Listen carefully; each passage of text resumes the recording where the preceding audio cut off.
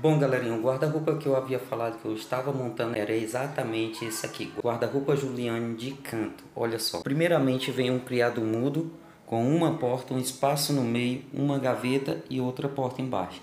Seguindo vai vir a ponte casal com 1,47m, duas portas. A abertura dessas portas ela abre para o meio. O tipo isso aqui, as não abre de lado, abre para o meio. Então seguindo o armário ponte, depois do armário ponte vai vir outro criado mudo com a porta na parte de cima, espaço no meio, mais uma gaveta e mais uma portinha embaixo. Depois desse criado mudo vem o armário canto. Esse armário canto, vocês querem ver o tamanho do espaço? Dá uma olhada no espaço desse armário canto. Gigante, gigante mesmo. E aí? Deixa nos comentários se vocês gostaram. Depois desse armário vai vir um armário com quatro portas e quatro gavetas. Vamos dar uma olhada também no espaço desse guarda-roupa, ele segue maleiro, espaço para pôr camisas, espaço para pôr calças, todos no cabide. Vamos dar mais uma olhada nessa última parte aqui.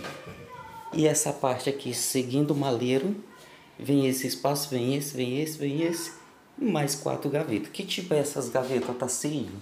Essas gavetas aqui, pessoal, é sentido gaveta telescópio, certo? Corrediça telescópio, gaveta bem feitinho. Dá uma olhada aqui, ó, abertura dessas corrediças.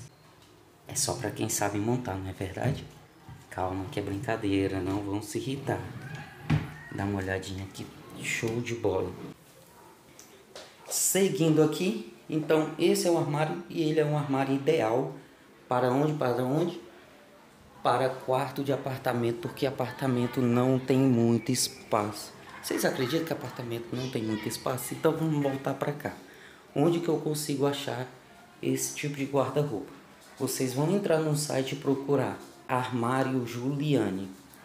Pode procurar como guarda-roupa, como armário de cozinha também vai ter esse tipo aqui de armário. Só que de cozinha, né? Lógico, não guarda-roupa. Não vão procurar como guarda-roupa, procura como armário de cozinha. E o Otacílio, é bom?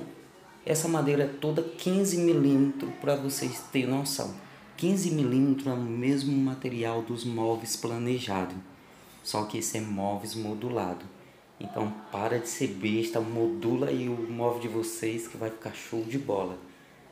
Planeja vocês mesmos e entra no site e procura por móveis Juliane. Belezinha? Foi isso, tchau, forte abraço, um cheiro no oi e até o próximo vídeo.